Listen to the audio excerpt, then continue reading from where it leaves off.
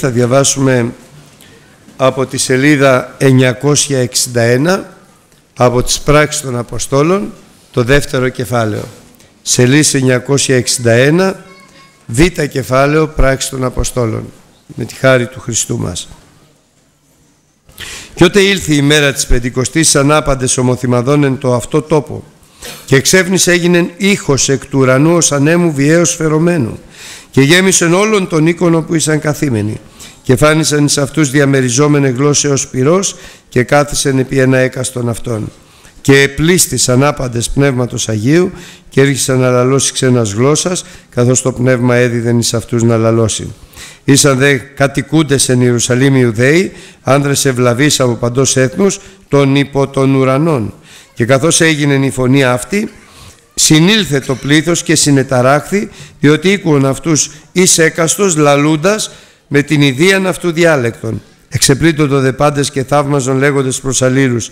Ιδού πάντες ούτε οι λαλούντες δεν είναι Γαλιλαίοι; Και πώς εμείς ακούμε έκαστος εν τη ιδία ημών διαλέκτο εν εγεννήθημεν, Πάρθη και Μύδη και Λαμίτε και οι κατοικούντες στη Μεσοποταμία, την Ιουδαία, την Καπαδοκία, τον Πόντον, την Ασία, την Φρυγία, την Παμφιλία, την Αίγυπτον και τα μέρη της Λιβύης, της κατά την Κυρίνη και οι παρυπουδημούντες Ρωμαίοι, Ιουδαίοι και προσήλυτοι, Κρήτες και Άραβες, ακούμεν αυτούς λαλούντας εν τες γλώσσες ημών τα μεγαλεία του Θεού.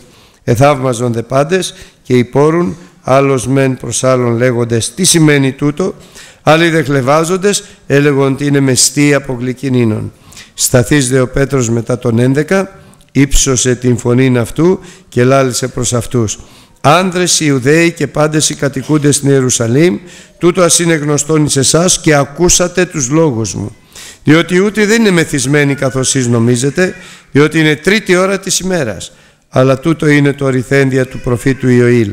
Και εν τεσσεσχάτες ημέρες, λέγει ο Θεός, Θέλω εκχέ από το πνεύματός μου επί πάσαν σάρκαν και θέλω σου προφητεύσει η ίσας και οι θυγατέρες σας και οι νεανίσκοι σας θέλουν συνειδεί οράσεις και οι πρεσβύτεροι σας θέλουν συνενυπνιαστεί ενύπνια. Και έτη επί τους δούλους μου και επί τας δούλας μου εν τις ημέρες εκείνες θέλω εκχέει από το πνεύματός μου και θέλω σου προφητεύσει.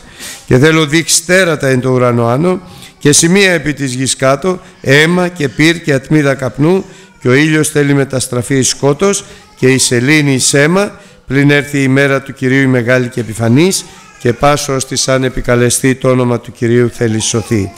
Ας πάμε και στη σελίδα 962 να διαβάσουμε πάλι από το δεύτερο κεφάλαιο 37 εδάφιο. Και αφού ήκουσαν ταύτα ήλθεν εις κατάνοιξην η καρδία αυτών και είπαν προς τον Πέτρον και τους λοιπούς Αποστόλους τι πρέπει να κάνουμε άνδρες αδελφοί και ο Πέτρος είπε προς αυτούς «Μετανοήσατε και ας βαπτιστεί έκαστος ημώνη στο όνομα του Ιησού Χριστού εις άφεση αμαρτιών και θέλετε λάβει την δωρεάν του Αγίου Πνεύματος διότι προς εσάς είναι η επαγγελία και προς τα τέκνα σας και προς πάντα στους ημακράν όσους αν προσκαλέσει Κύριος ο Θεός ημών». Και με άλλους πολλούς λόγους διεμαρτύρετο και προέτρεπε λέγον «Σώθητε από τις διεστραμμένης ταύτης γενεάς». Εκείνοι λοιπόν με τα χαράς δεχτέντες των λόγων αυτού ευαπτίστησαν και προσετέθησαν εν εκείνη τη μέρα έως 3.000 ψυχέ και ενέμενον εν τη διδαχή των Αποστόλων και εν τη κοινωνία και εν τη κλάση του άρτου και εν τες προσευχές. Αμήν. Οι μαθητές είχαν αναγνωρίσει με αποκάλυψη Θεού του Ιησούς είναι ο Χριστός, ο Μεσσίας, ο Υιός του Θεού του Ζώντος. Περίμεναν λοιπόν σαν Μεσσίας να κυριαρχήσει επάνω σε όλο τον κόσμο ελευθερώντας καταρχάς το λαό Ισραήλ από τους Ρωμαίους αλλά και δίδοντας στο λαό Ισραήλ τη δύναμη και την εξουσία του Δαβίδ ο οποίος είχε δημιουργήσει μια αυτοκρατορία στην εποχή του την οποία και μεγάλωσε ο γιος του ο Σολομών. Όμως ενώ αυτά περίμεναν, όπως και ο Ιωάννης ο βαφτιστής, ενώ αυτά περίμεναν, είδαν ξαφνικά να εκπληρώνονται τα λόγια του Ιησού Χριστού ότι θα με συλλάβουνε, θα με σταυρώσουνε, θα με θανατώσουνε και το έργο θα το κάνει όχι ο Υιός του ανθρώπου επί της γης, αλλά ο ανεστημένος Υιός του ανθρώπου εν της ουρανής. Είδαν λοιπόν ξαφνικά να συλλαμβάνουν τον διδάσκαλό τους, τον Κύριό τους, τον Μεσσία, να τον σταυρώνουν και αφού χτυπήθηκε ο ποιμένας διασκορπίστηκαν τα πρόβατα. Όλοι φύγανε. Ο Πέτρος, ο πρώτος των Αποστόλων, των εκλεγμένων, τον αρνήθηκε τρεις φορές μπροστά σε μία δούλη. Ο Ιωάννης, ο αγαπημένος, ήταν ο μόνος που μείνε με τα μέσα που είχε σαν οικογένεια στον αρχιερέα, στους αρχιερείς και στους άρχοντες. Όλοι οι άλλοι μαθητές διασκορπίστησαν και ο χειρότερος από όλους ο Ιούδας ο οποίος και τον παρέδωσε αυτοκτόνησε. Το έργο δηλαδή τελείωσε. Τελείωσε με τον νεκρό Χριστό αλλά θα αρχίσει με τον ανεστημένο Χριστό. Και αν εμείς πιστεύουμε και αγαπάμε τον Χριστό για τη ζωή αυτή, είμαστε οι ελεηνότεροι πάντων των ανθρώπων.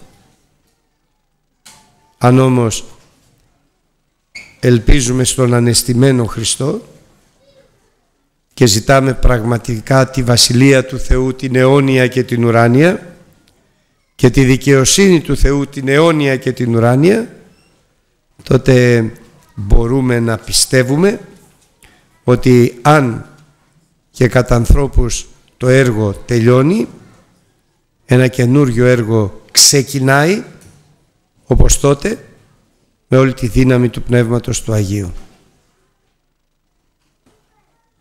Όχι πια με όραση για δω, αλλά με όραση για εκεί πάνω. Όχι μόνο με όραση πλέον για αυτά που ζούμε, αλλά με όραση για αυτά που θα απολαύσουμε στους αιώνες των αιώνων. Θέλοντας να μας καταστήσει ο Θεός πολύτιμος. Και θέλω να το ρωτήσω μια φορά ακόμη. Θέλεις να σε καταστήσει ο Χριστός πολύτιμο για να απολαμβάνεις την αγάπη Του και να ζήσεις τη δόξα Του αφού του εστάθεις πολύτιμος στους οφθαλμούς μου εδοξάστης και εγώ σε αγάπησα όλο το μεγάλο μυστικό των εσχάτων ημερών είναι στηριγμένο πάνω στην Εκκλησία του Χριστού την ένδοξη, την ένδοξη, την Αγία, την τέλεια, την μη έχουσα ρητίδα η κοιλίδα ητή των τιούτων, τη δόξα του Ιησού Χριστού, πράγμα που τώρα δεν είμαστε. Λυπούμεθα, αλλά δεν είμαστε. Αλλά είναι και ένα άλλο γεγονός, δεν είμαστε αλλά ούτε και μπορούμε να γίνουμε. Αλλά υπάρχει ένα άλλο γεγονός ακόμη μεγαλύτερο. Ναι μεν δεν είμαστε, ούτε μπορούμε να γίνουμε, αλλά ευχαριστούμε τον Θεό γιατί ο Χριστός μπορεί να μας κάνει. Και μπορεί να κάνει μόνο αυτούς που το πιστεύουν. Μόνο αυτούς που το θέλουν, μόνο αυτούς που το εξητούν. Τώρα ένα καινούργιο έργο ξεκινάει για τους μαθητάς χωρίς τον εν ζωή Ιησού τον Αζωραίο επί της γης αλλά με τον Ιησού Χριστόν τον ανεστημένο ανάμεσά τους και μάλιστα πλέον ουχή δια ισχύος, ουδέ διαδυνάμεως αλλά δια του πνεύματός μου λέγει ο Κύριος των δυνάμεων. Καινούριο έργο, νέα πράγματα που θα ξεκινήσει με τους φοβισμένους τους απογοητευμένους, τους απελπισμένους και τους διασκορπισμένους μαθητάς που όμως όπως τότε έμειναν στην εντολή του Χριστού για τις μέρες τους μην απομακρυνθείτε, μείνετε στην Ιερουσαλήμ. Γιατί αν μείνετε στην Ιερουσαλήμ εξητώντας με υπομονή περιμένοντας προσμένοντας τότε θα λάβετε δύναμη όταν το Πνεύμα το Άγιο θα έρθει πάνω σας και τότε θα κηρύξετε το Ευαγγέλιο του Ιησού Χριστού σε όλα τα έθνη, σε όλο τον κόσμο. Τότε θα δοξαστεί ο Χριστός στη ζωή σας και θα απολαμβάνετε τη δόξα του Χριστού μέσα στην Εκκλησία. Τη μία, την Αγία, την ένδοξη την οποία εγώ ο Θεός Θα οικοδομήσω πάνω σε αυτή την πίστη. Το Αποστόλου Πέτρου που ομολόγησε ότι εσύ είσαι ο Χριστός ο Υιός του Θεού του Ζώντος. Τώρα όμως στις έσχατες ημέρες υπάρχει άλλη εντολή Θεού. Δεν λέει πια μείνετε στην Ιερουσαλήμ γιατί δεν υπάρχει Ιερουσαλήμ τώρα παρά μόνο η νέα Ιερουσαλήμ, η πόλη των εορτών ημών, η Εκκλησία του Χριστού, αλλά η εντολή του Θεού, μέσα από το Λόγο του Θεού είναι ζητείτε η ετών τον καιρό της οψίμου βροχής. Και σε αυτούς που ζητούν η ετώ, ο Θεός θα κάνει αστραπές και βροντές, κατακλυσμό και θα δώσει καρποφορία στο χωράφι του καθενός. Γιατί κάθε ένας από εμάς έχει ένα χωράφι μέσα στο οποίο εργάζεται. Πρώτα τον εαυτό του, την οικογένειά του, το χώρο του, το περιβάλλον του, τη δουλειά του, την εκκλησία του. Αλλά σε ποιους θα δώσει χορτάρι και καρπό στο χωράφι τους, σε αυτούς που βρέθηκαν πολύτιμοι στους οφθαλμούς του, ενώπιόν του. Άρα όλο το μυστικό στην πρώτη Αποστολική Εκκλησία και όλο το μυστικό στην τελευταία Αποστολική Εκκλησία είναι πολύτιμος ενώπιον των οφθαλμών του. Αξιόπιστος, χρήσιμος, ευάρεστος εις τον Θεόν, καρποφόρος πολύ.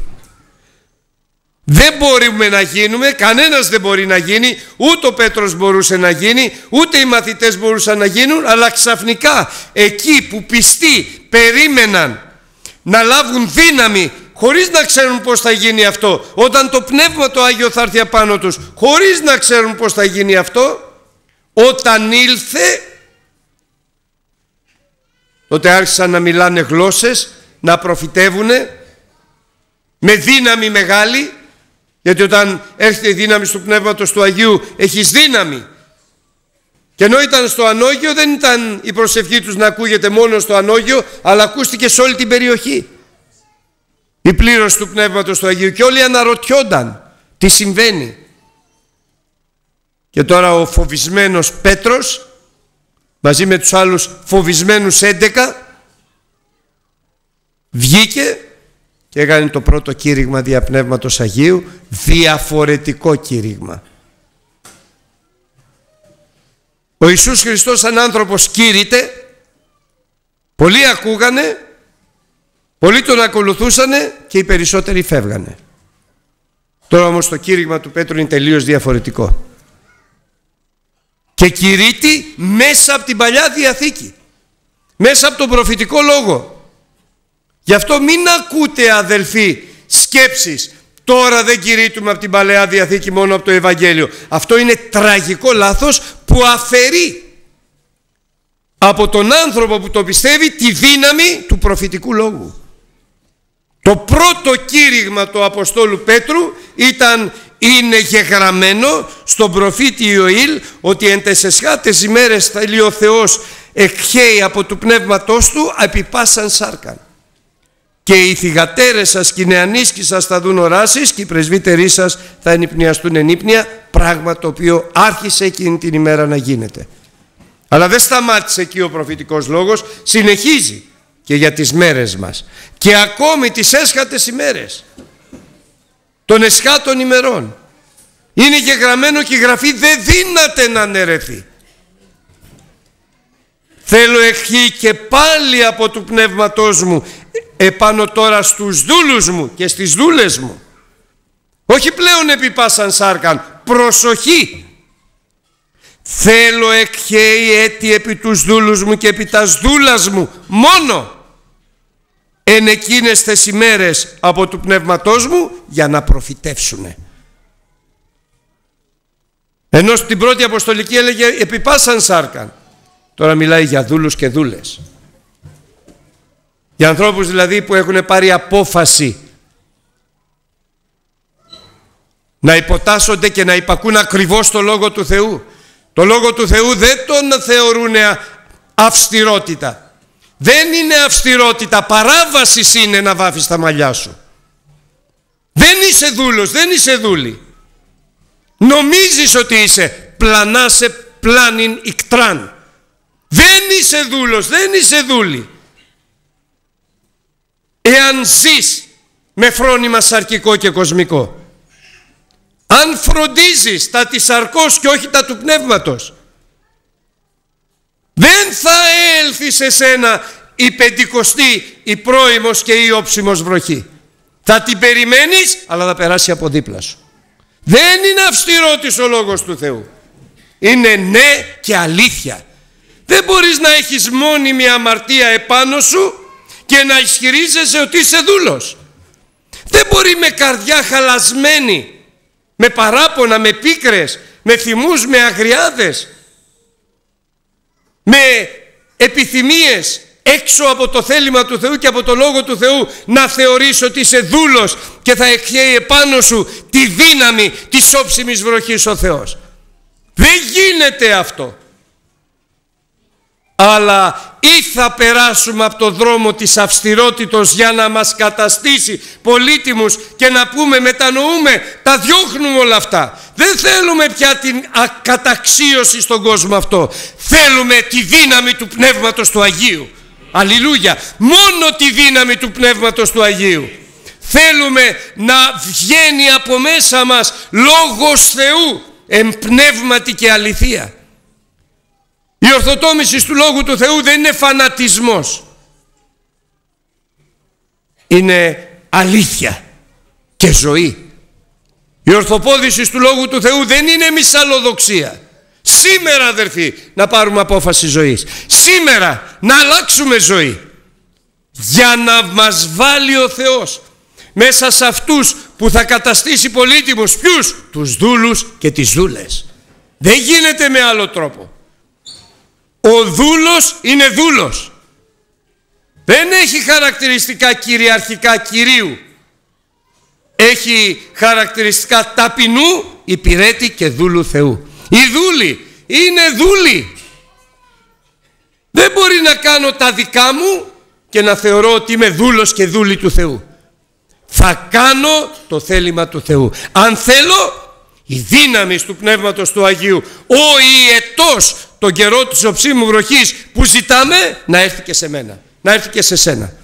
Δεν γίνεται με τραγουδάκια, με παιχνιδάκια και με αστιάκια. Με αφιέρωση, με πίστη, με ταπείνωση, με υπακοή, με ορθοτόμηση και ορθοπόδηση θα πάμε στον ουρανό. Δεν μπορούμε να παίζουμε με το Θεό.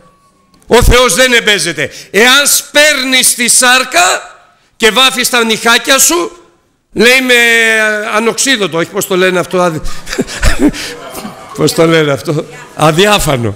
Με, αδιά... με διάφανο λέει που δεν φαίνεται. Όχι δεν είσαι δούλη. Εάν σπέρνεις στη σάρκα θα θερίζεις τη σάρκα. Φθορά. Αν σπέρνεις το πνεύμα θα θερήσεις το πνεύμα. Δεν μπορούμε να παίζουμε με το μέλλον μας βλέποντας το παρόν μας. Ξέρουμε το σχέδιο του Θεού. Δεν είναι δυνατόν η Μαρία η Μαγδαληνή να έκανε αντάβιες μες στα μαλλιά της και την ευλόγησε ο Θεός. Η Μαρία, η γυναίκα, η μητέρα του Κυρίου. Δεν γίνονται αυτά τα πράγματα. Δεν μπορούν να γίνουν αυτά τα πράγματα. Μόνο τις έσχατες ημέρες επί τους δούλους μου και επί τα δούλας μου θα εκχαίω από του πνεύματός μου και θα προφητεύουμε. Και θα προφητεύουμε εν αληθεία, εν πνεύματι, με αποτέλεσμα, με καρποφορία, ευάρεστα εις το Θεό. Και θα δοξάζεται ο Θεός και θα μας δοξάζει ο Θεός. Είναι λοιπόν απόφαση ζωής. Δεν τολμώ να πω απόφαση θανάτου, φοβάμαι. Αλλά μπορώ να πω με παρησία απόφαση ζωής. Εγώ όμως και ο οίκος μου θα λατρεύουμε τον Κύριο. Όλοι είσαστε ελεύθεροι. Να, και εγώ είμαι ελεύθερος. Να κάνετε ό,τι θέλετε. Μπορείτε και τα νυχάκια σας να βάζετε και μέσα αντάβιες να βάζετε και τα κόκκινα να τα βάφετε και η καρδιά μας να είναι γεμάτη από πίκρα και παράπονα και αντίδραση και φιλοδοξία και να θέλουμε πολλά. Αλλά ο Λόγος του Θεού λέει αρκίστε εις τα στροφάς και στα σκεπάσματα. Δεν ξέρω τι θα κάνετε. Εγώ όμως και ο οίκος μου θα λατρεύουμε τον Κύριο. Είναι απόφαση ζωής. Την έχω πάρει εγώ και η γυναίκα μου και δυστυχώς δεν μπορώ να το επιβάλλω στα παιδιά μου γιατί τώρα είναι μεγάλα. Αλλά ο Κύριος έρχεται και θέλω να ζήσω τον ιετό. Τον θέλω να τον ζήσω αδερφοί. Δεν αξίζω. Άθλιος είμαι, ουτιδανός είμαι, άχρηστος είμαι, όλο λάθη κάνω. Αλλά όμως ελπίζω στον Κύριό μου και το Θεό μου. Ελπίζω στο σωτήρα μου και στο λυτρωτή μου και του λέω Κύριε μη βλέψεις την αδυναμία μου, στην ασθένειά μου, στα λάθη μου. Βλέψε Κύριε μου στο σταυρό σου και δώσε μου χάρη. Άλλαξέ μου την καρδιά, άλλαξέ μου τη ζωή, άλλαξέ μου τη λογική, άλλαξέ μου τη σκέψη. Θέλω τον έσκατο καιρό να ζήσω τον ιετό της οψίμου βροχής. Τον ζητάω και τον θέλω. Και θέλω όλοι μας αδερφοί. Και αν εγώ το θέλω τόσο πολύ για τα δικά μου τα παιδιά και για όλους εσάς πόσο περισσότερο το θέλει ο πατέρας μας για τα δικά του τα παιδιά και για όλους εμάς. Δηλαδή μια εκκλησία που να είναι πραγματικά ένδοξη πλήρης Πνεύματος Αγίου και δυνάμεως με ορθοτόμηση του Λόγου του Θεού με ορθοπόδηση του Λόγου του Θεού με, με διανομές Πνεύματος Αγίου με χαρίσματα Πνεύματος Αγίου δεν μιλάω για τα μείζωνα χαρίσματα, δεν τα βλέπω γραμμένα. Πιστεύω ότι ο Θεός δεν είναι εκεί το ζήτημα. Τις έσχατες ημέρες βλέπω ορθοτόμηση και ορθοπόδηση. Αλλά και το έργο του Θεού ένδοξο. Να κηρύτεται σε όλο τον κόσμο. Και όταν τα άκουσαν αυτά, το πρώτο κήρυγμα, το κήρυγμα του Αποστόλου Πέτρου, οι ακούοντες και αυτοί ακόμη που χλέβαζαν, ότι αυτό είναι αποτέλεσμα με κρασιού γλυκού. Όταν τα άκουσαν όλα, όλα αυτά ήρθε σε κατάνοιξη η καρδιά τους. Και είναι μια ερώτηση αδερφοί που θέλω να την κάνω σε όλους μας. Έρχεται σε κατάνοιξη η καρδιά μας όταν λέμε το Λόγο του Θεού. Ή σκληρύνεται η καρδιά μας. Μη σκληρύνεται λέει την καρδιά σας Σήμερα που ακούτε τη φωνή του Πνεύματος του Αγίου, όπως κλήριναν τότε και άφησαν τα κόκαλά τους στην έρημο. Σήμερα αδερφοί, να συντρίψουμε την καρδιά μας μπροστά στο Θεό, να ταπεινώσουμε το πνεύμα μας και να ζητήσουμε από το Θεό έλεος και χάρη. Ναι, είναι δύσκολο να αλλάξουμε, αλλά μπορεί ο Θεός να μας αλλάξει. Είναι δύσκολο να αυξηθούμε και να οικοδομηθούμε, αλλά μπορεί ο Θεός να μας αυξήσει και να μας οικοδομήσει. Ναι, είμαστε πολύ αδύνατοι, αλλά έχουμε μία ελπίδα. Την ελπίδα της Εκκλησίας της Φιλαδελφίας, που ο Κύριος είπε έχεις μικρά δύναμη, έτσι. Έχεις μικρά δύναμη, το ξέρω. Και εμείς λέμε έχουμε μικρά δύναμη. Και ακόμη καλύτερα έχω μικρά δύναμη, Κύριε. Αλλά δεν εξαρτάται από τη δύναμή σου το έργο μου. Εξαρτάται από το αν θέλεις να φυλάξεις το λόγο μου και να μην αρνήσω το όνομά μου. Επειδή έφυλαξα στο λόγο μου και δεν αρνήθηκε στο όνομά μου, γι' αυτό και εγώ, γι' αυτό και εγώ θα θέσω μπροστά σου μια θύρα ανεωγμένη. Και τότε θα πω προς το βορρά και προς το νότο μην εμποδίσεις τους ιούς μου και τις θυγατέρες μου και θα πω και προς την Ανατολή και στη Δύση φέρε όλους αυτούς που καλούνται με το όνομά μου γιατί εγώ όλους αυτούς τους δημιούργησα για τη δόξα μου. Και θέλω να είμαι ένα δημιούργημα του Θεού. Όχι με την ικανότητά μου, με τη δύναμή μου. Ένα δημιούργημα του Θεού για τη δόξα Του. Ένα πράγμα ζητάω. Με όλη μου την καρδιά. Χριστέ μου να μην χάσω τα αιώνια, τα ασάλευτα και να τα θυσιάσω για τα σαλευόμενα και τα γήινα. Θέλω τα αιώνια και τα ασάλευτα. Θέλω τη δόξα Σου και εδώ στη ζωή αυτή αλλά και στην αιώνια ζωή. Αμήν.